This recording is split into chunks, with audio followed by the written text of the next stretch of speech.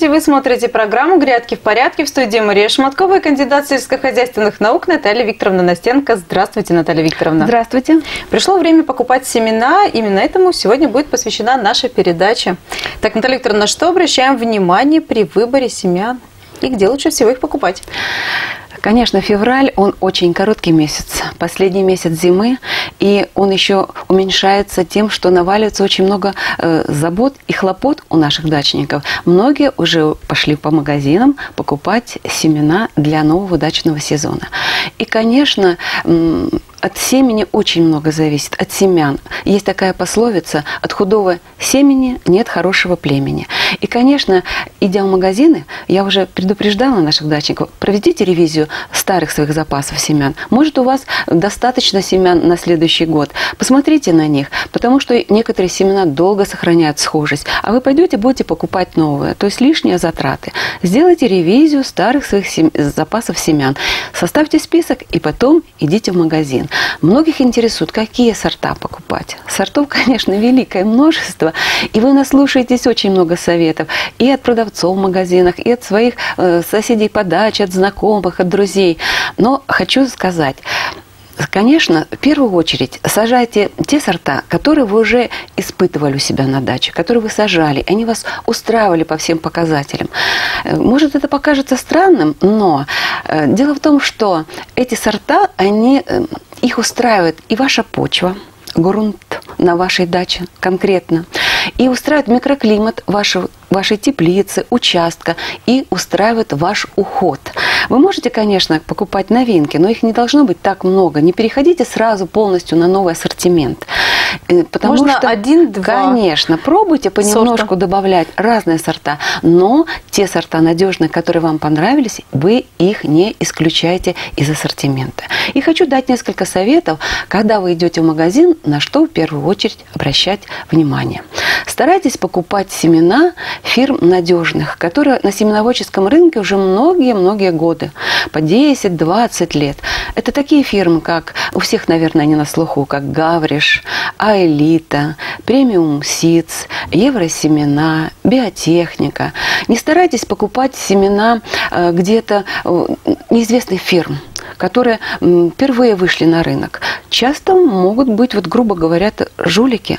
Как было несколько лет назад, когда несуществующий э, Хабаровский научно-исследовательский институт предлагал э, жителям Санкт-Петербурга э, семена своей селекции. Такого института и в помине нет. А придорожных, пригородных, пригородных поездах ленинградского направления вовсю продавали эти семена. И люди, многие, покупались на это.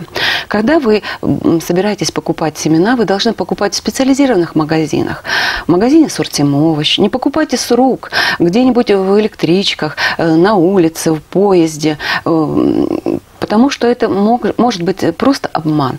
Идите в магазины, в семеноводческие отделы магазина Ашан, Метро, э, Пятерочка, потому что они сотрудничают напрямую вот с фирмами-производителями.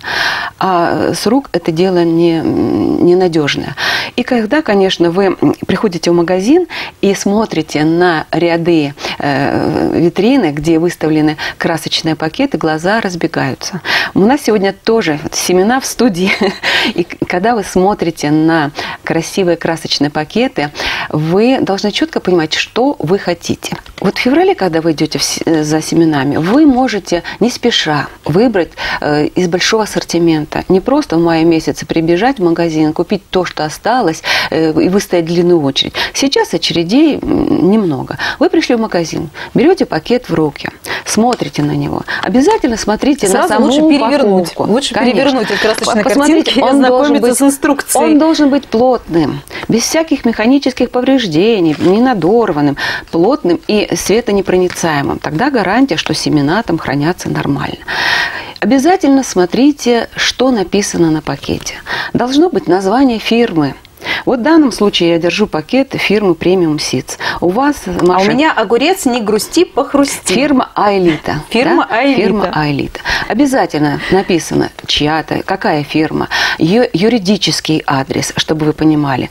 Написана характеристика сорта, а написано количество семян, или это поштучно, или в граммах, чтобы вы у посмотрели. 3 грамм, 0,3 грамма. А у меня написано 15 штук, чтобы вы понимали, сколько вам нужно семян. Один пакетик покупать, вот в данном случае кабачка, или два пакета вам нужно.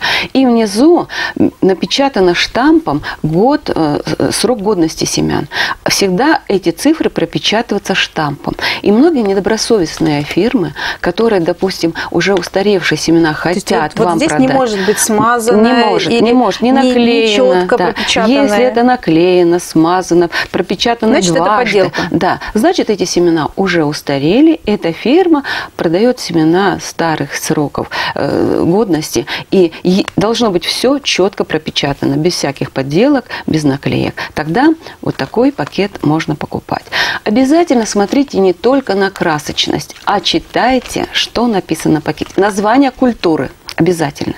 В данном случае у меня кабачок. Сорт оранжевый король. Если вы пришли за кабачком и хотите зеленоплодный, пожалуйста, смотрите на пакет, чтобы потом не, не бегать, не менять пакеты, потому что вам нужен, допустим, золотистый кабачок или цукини зеленый. Или, допустим, вы хотите купить, вы любите свеклу круглую, поэтому смотрите, вот она, круглая свекла. Любителям цилиндрической свеклы вот нужно покупать такие сорта. Смотрите, если вы пришли за томатом, вам нужно понимать, вы хотите для засолки, для салата, вы должны знать ранний сорт, поздний, средний. Все это написано на пакете. Если покупаете кабачки, патиссоны, тыквы, на пакете написано в описании, то ли это кустовой сорт, то ли плетистый, то ли средний плетистый, ранний, средний, поздний. Для каких целей? Для засолки, для салатов, для консервирования. Детерминантный томат, низкорослый для открытого грунта, или он детерминантный для открытого грунта, или для теплиц.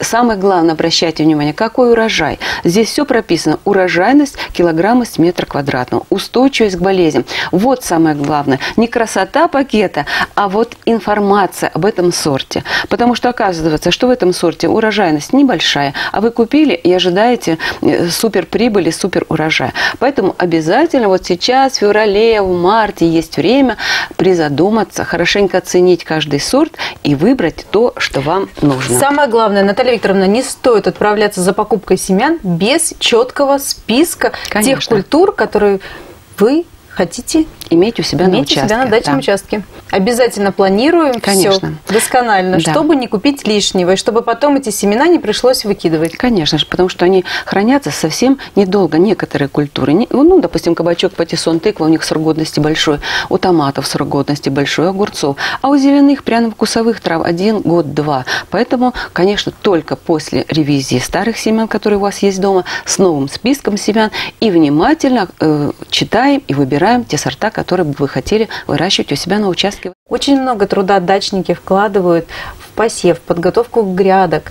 И поэтому не хочется, чтобы это все было даром и напрасно. Конечно. А от семян очень много зависит от сорта, от характеристики сорта. Поэтому внимательно выбирайте и очень э, вдумчиво выбирайте новые сорта для дачи. Селекционеры не сидят без дела. Каждый год появляются новые сорта. Вот как дело обстоит с новинками? И вы рекомендуете э, покупать их или все-таки более осторожно относиться ко всем новым сортам? Вы знаете, Маша, я сегодня буду говорить не о новых сортах и гибридах овощных культур, потому и, и цветов тоже, потому что их очень много. С каждым годом э, государственный реестр пополняется большим количеством новых сортов и гибридов. Э, для этого не хватит нескольких программ. Много культур, много сортов, много гибридов. Я сегодня буду говорить о многообразии вот продаваемой пакетированной продукции. Вот мы говорим о красочном пакете, а многие фирмы продают и пакеты э, в таком белом в бел, э, семена в белом пакете. Конечно, на разный кошелек, на разные возможности дачников.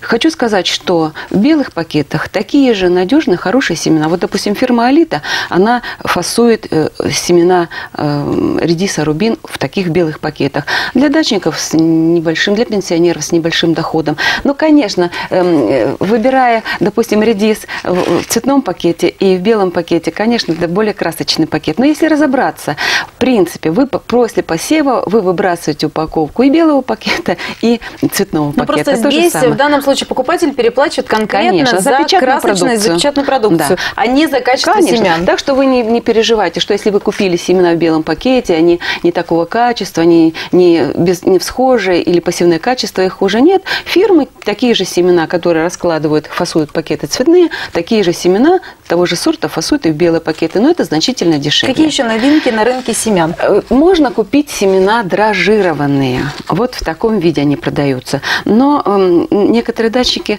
побаиваются покупать их, вроде бы как вдруг какой-то будет вред здоровью эти семена могут нанести. Вот хочу успокоить, эти семена никакого вреда здоровью не предо... не, не сделают. Просто фирмы для облегчения вашего труда при То посеве. эти семена не нанесут вред здоровью?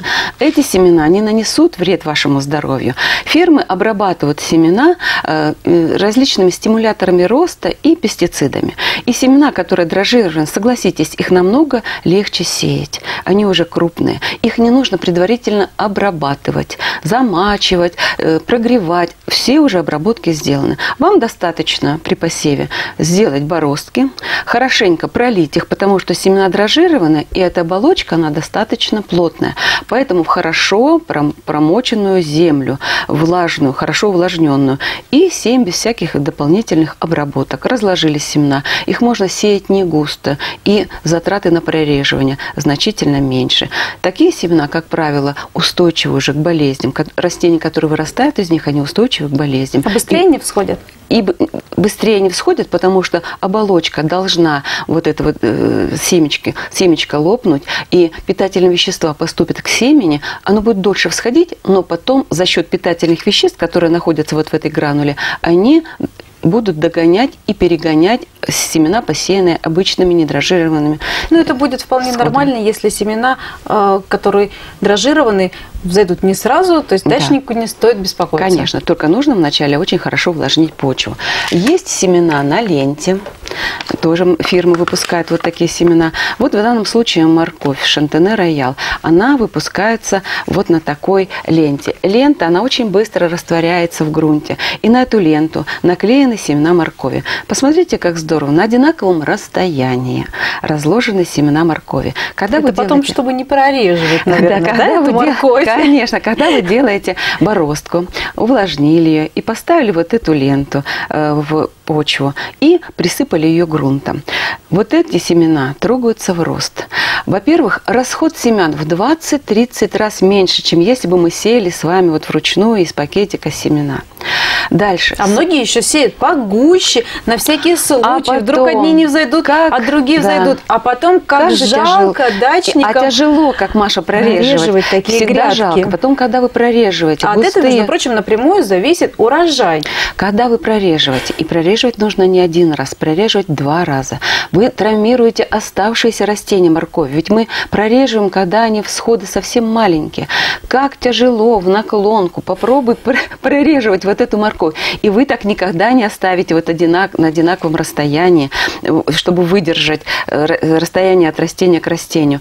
И когда вы прореживаете морковь, посеяну очень густо, мы же вырываем ее из грунта, и э, запах морков, от морковных листочков распространяется, и это привлекает морковную муху. Она тут, как тут. И она очень сильно поражает потом вот эти посадки моркови. А здесь мы уходим с вами от прореживания, уходим от болезней, от вредителей благодаря этому. И урожай получается больше.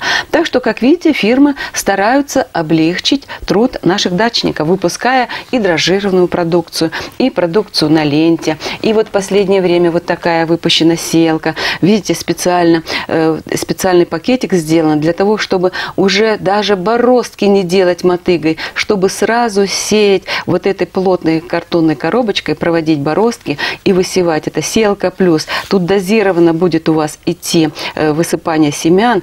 Тоже, то же самое это намного облегчает посев. Так что покупайте новинки, покупайте белые пакеты, дрожжированные семена, семена на ленте. Наталья Викторовна, что можно уже сеять в феврале? Сеем в основном мы в марте. Хотя вот 25 февраля мы с вами сделаем передачу о посеве петунии.